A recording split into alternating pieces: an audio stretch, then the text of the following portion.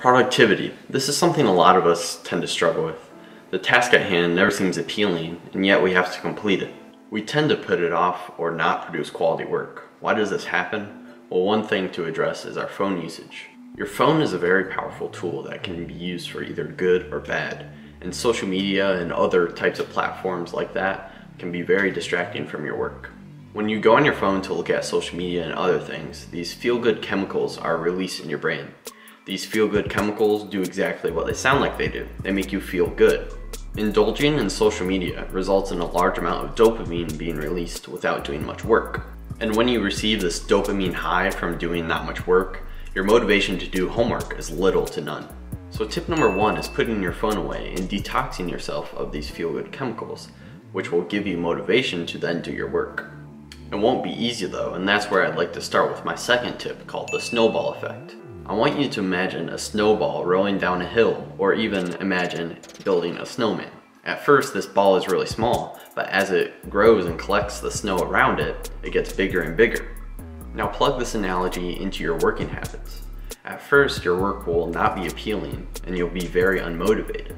The work you have to do isn't as gratifying as social media is, but just like that small snowball that you start off with, Start off with a small task such as doing a chore, cleaning your workspace, writing down a to-do list, or even doing the work for five minutes or so. That will give you that little jolt of dopamine that will make you feel good and motivated to do your work. And just like that snowball rolling down the hill, your motivation to do work will grow and grow. My next tip is a double whammy of having a designated work time and not procrastinating. Often due to procrastination, I've noticed I can easily put off doing a certain task and just convince myself that I'll do it at a later time. This in turn makes my situation worse since I'll just have more work to do at a later time. And instead of having that little bit of discomfort at the start of my work, I may put it off for the next day and then the next day.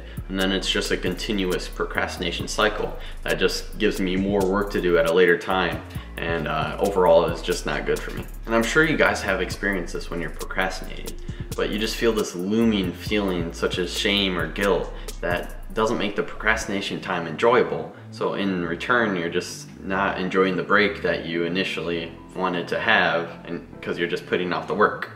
So in conclusion, procrastination is bad and it will just make things worse in the long run. But having breaks is still really good and you should be smart about that. So to not procrastinate, I'd recommend having a designated work time where you won't allow yourself to get distracted or go on your phone.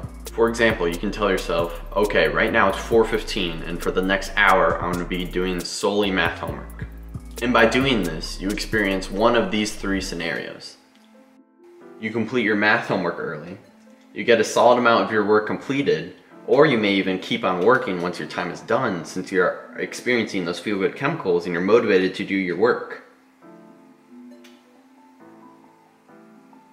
Anyways, my final point I want to share with you is being busy versus prioritizing. Being busy and having a lot of responsibilities, constantly on the go, and just not having a lot of rest time is quite unhealthy. Your brain and body need rest time to be productive with your work. Working without much downtime leads to burnout where you're mentally and physically exhausted or unmotivated. This in total makes you unproductive where you don't want to do the work that you have to do. So my suggestion would be prioritizing your schedule with things that you enjoy doing. Having so many extracurricular activities or taking super hard and challenging classes may not be good for you in the long run. Prioritizing your work and completing the work that is important to you will make you feel more accomplished and motivated to do even more. Thank you guys for watching. I'm not a professional in this type of stuff, but I hope you guys found something helpful or useful. I'll end with this quote. The only way to change tomorrow is to take a step today. Peace.